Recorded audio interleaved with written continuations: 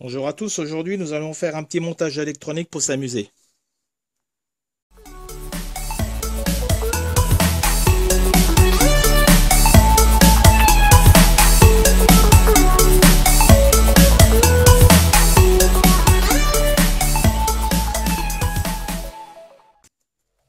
Il s'agit d'un détecteur de tension sans contact dans, ce style-là.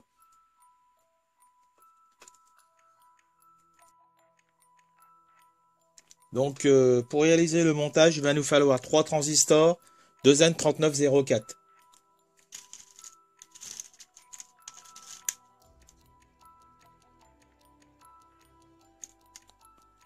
Une résistance de 1 mégohm.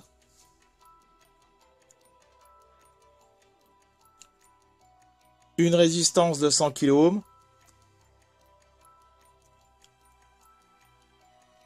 Une résistance de 220 ohms.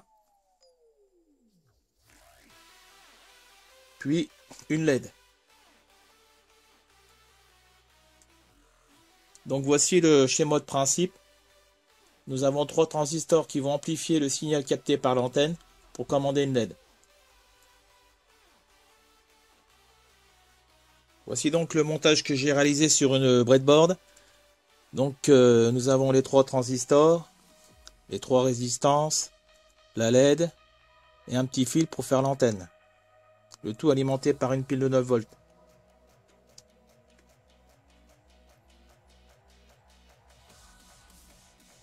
Donc pour faire l'essai, j'ai tiré deux fils dans une prise de courant.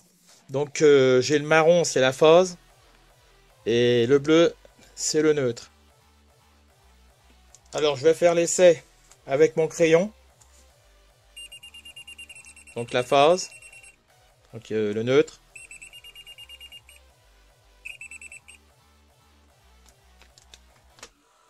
Et je vais faire l'essai donc avec le petit montage.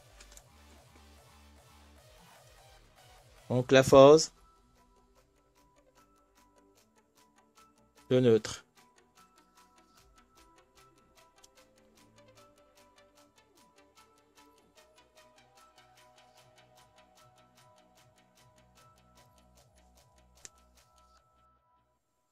Bon bah voilà pour les bricoleurs, il ne reste plus qu'à faire le montage sur une plaque perforée puis ensuite euh, la glisser dans un petit tube.